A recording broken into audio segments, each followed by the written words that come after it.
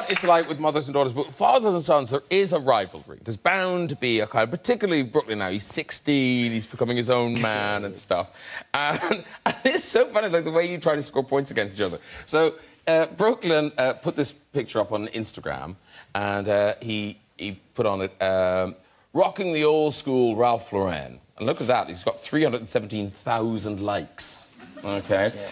Uh, so that, you know, cool in his Ralph Lauren. Then you scroll through the comments, you know, oh yeah, whatever, blah, blah, I want to, blah, blah, blah. get down to this one. And Mr. David Beckham, that's my jumper. that's so mean. But it actually, but it actually is my jumper.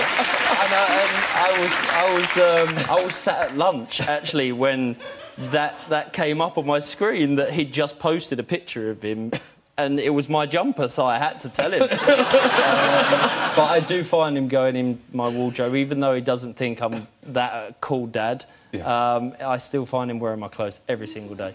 This one's so. So uh, this is him. It's a little video he posted on Instagram uh, to really boast about the number of his followers. Here we go. So it's my mum's birthday today. Okay. I just reached a million followers. I've got 52. his, his face, he is crushed. I know, I know. Well, I, I was, I, we were literally just about to walk out the door, and um, I could hear him talking in his room, and I thought, and then I heard him say, you know, I've just about just reached a million, so. Yeah.